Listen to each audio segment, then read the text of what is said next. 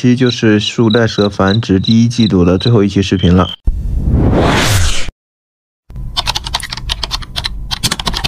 这窝蛇繁殖的时候我不在家，然后我每天都在问我妈妈生了吗？生了吗？生了吗？后来都给我妈问到气到骂人，最后终于生了。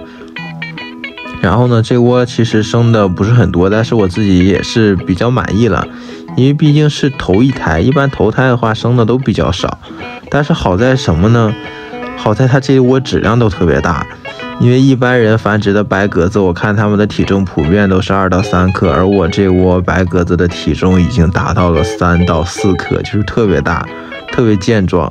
然后我有一个朋友，因为我本地有朋友要了一对儿嘛，他拿回去之后跟我说，如果不看月份的话，可能觉得它们都是一般大的，就是真的很大。大家可以看一下，这个是出生当天的。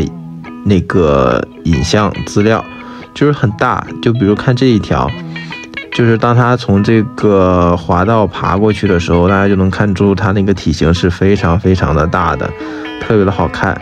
而且这窝开食的也是比较顺利，一般回去就开了，吃了很多小鱼。然后呢，我自己呢是拿出去了一对儿，跟沈阳的一个爬友换了来换了一下血。呃自己又留了几条，自己又留了几对儿。总的来说呢，我今年留了树袋蛇，留了很多很多，因为我是比较喜欢这个物种的。然后呢，这段视频呢，其实都是我妈妈帮我拍的，因为我还没有回家。等我回家的时候，我才一条一条的把它们剪出来。然后就是很多的蛇。现在呢，这段视频啊，我刚说错，现在这段视频已经是我拍的了，因为已经开始该伸手抓了。然后呢？就是到处在石头缝里、草堆里找苗子，就是这个日常。然后呢，我先把这些仿真植物都拿出来。这些仿真植物，大家，嗯，我不知道你们觉得真不真，反正我觉得很真，毕竟是我自己选了很久才选到的一些个仿真植物。然后呢，我是建议大家都给一些大点的环境给造景，不要让树袋蛇养在抽屉里。树袋这种活跃的动物不适合一直养在抽屉里。然后本来的话，就是很多人嫌。麻烦就给只给他们吃薯，对于他们身材就不是很友好，对于他们的身体健康也不太友好。再给一个小抽屉的话，那就真的很不友好了。然后呢，我就把这些石头捡出来，大家也可以看出来，我这是不同的植物搭配的石头也是不同的，这个大家就自己在野外观察一下就好了。再就是把我这小人渣盒打开，然后把这小苗子都抓出来。这小苗子还是我抓了那么多回了，我还是不太敢抓。然后大家看右边那条小苗子，就是它，就是想从那个外面跑出去，但是被我拦回来了。后续抓的时候跑出去了好几条，但是都被我找回来了。然后呢，就是这种，就是这个场景，就是像幼儿园小学小学生放学，我在接小学生一样，就是满箱子抓小蛇，一抓抓好多，一抓抓好多。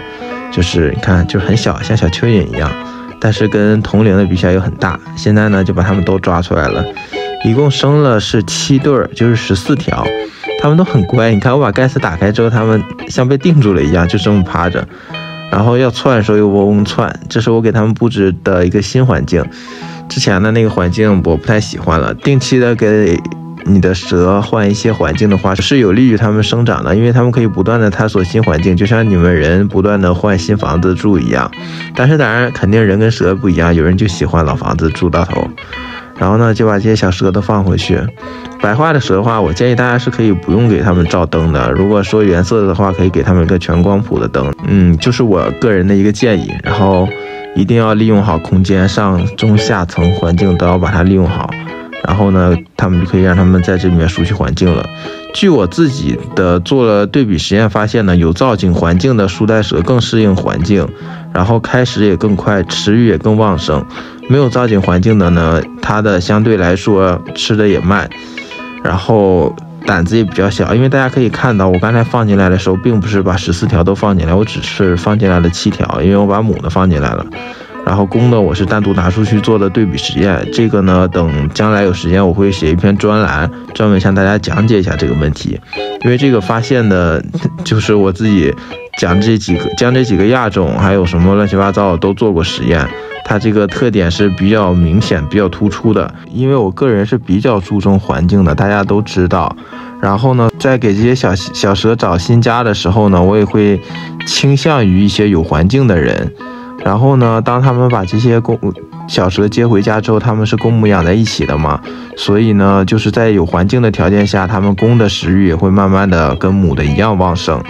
然后呢，大家正好可以趁这个视频看一下这个白鸽子跟其他亚种的比较，真的很大。相对来说吧，鸽子经过驯化的代数比较多，所以体型的话，实际上是没有其他亚种修长的要短一些，但是相对开始会容易一些。好啦，就讲到这里了，拜拜。